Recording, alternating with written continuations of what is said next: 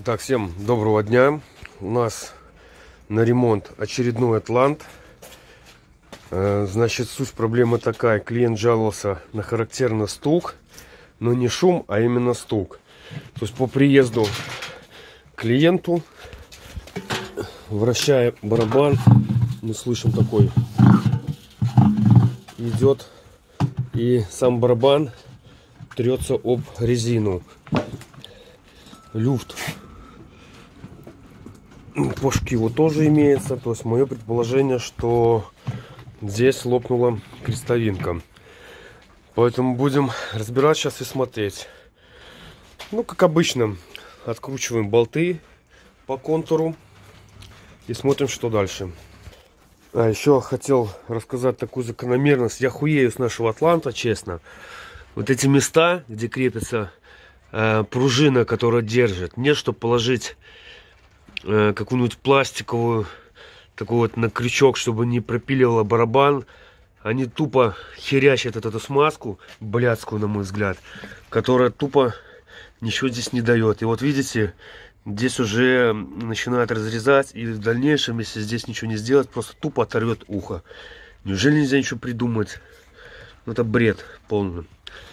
Так, ладно, располовинили мы. Видим стандарт. Вот я показывал. Вот то, что я говорил. Люфт был, пилила барабан изнутри по пластику. Но дырки не сквозные, поэтому еще ничего страшного.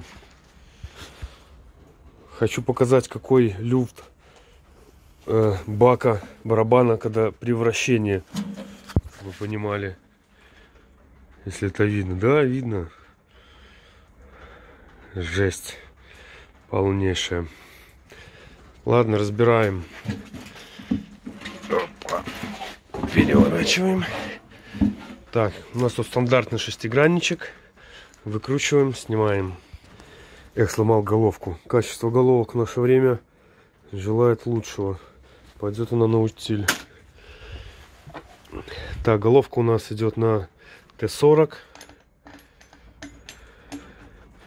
Откручиваем. Так, открутили. Это сюда. Так, сняли. Так, что мы видим? Если видно, трещина изнутри барабана, прямо ее, ну тут прям капец. Здесь трещинка. Здесь трещинка, там внутри, наверное, полная жопа. Извините меня за выражение. Ну, судя по тому, что и здесь еще трещина. Прям такая конкретная.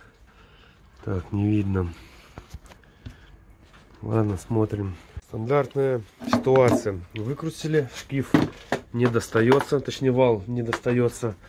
Поэтому накручиваем болт, переворачиваем, берем молоточек и немножко надо попросить. Только обязательно до конца закрутить, чтобы не срывать резьбу. Погнали. Так, все, вал ушел. Половине. Ой, это про то, что я говорил все-таки. Вал сгнил напрочь. Если видим, то есть он полностью вот это вот этот луч оторванный. За счет этого люфт и получился. Поэтому меняем сейчас крестовинку. Крестовинка откручивается тоже шестигранником с трех сторон. Раз, два, три. И все это дело меняем. Так, здесь у нас что? Ну, это грязь. Грязь мы убираем. Значит, у меня вот такой вот шпатель. Обычным шпателем вся вот эта какашка, которая собирается, она хорошо уходит.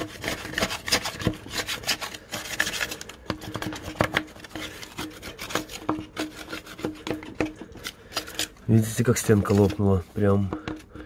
Ну, это ничего страшного. Это можно запаять. И все будет работать. Это из-за большой вибрации. Была большая вибрация, потому что крестовина была сломана. И пластик дал трещинку. Берем хороший паяльник мощный, запаиваем как с этой стороны, то же самое с той стороны, и все будет хорошо. Ну, сейчас достанем подшипники, еще посмотрим, как состояние внутри. Так, подшипники мы достали. Здесь у нас идет 205 это внутренний, наружный 204 и сальник. Так, сальник 30, 52, 8,5, 10,5. Ну, стандартный. Так, меняем. Так, кстати, вот длина вала, если кому-то понадобится или кто-то будет делать. Под 204-205. Итак, приехала нам крестовинка.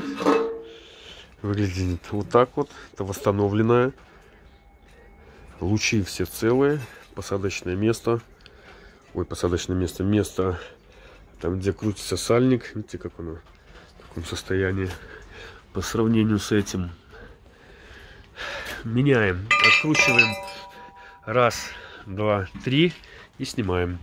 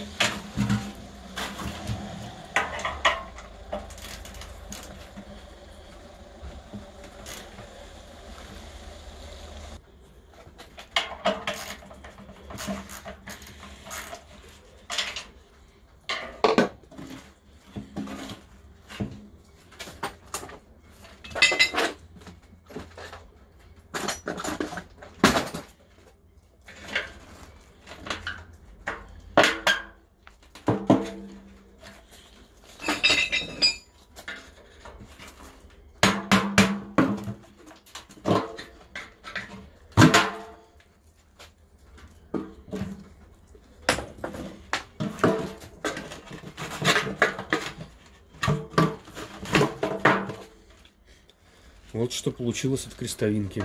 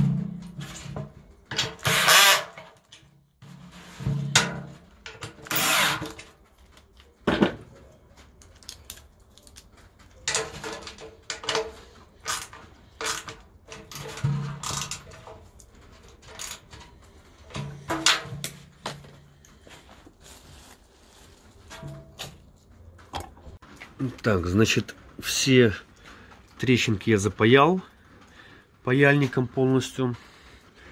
Э, и потом еще герметиком по верху пройду, для того, чтобы на всякий случай не подтекало.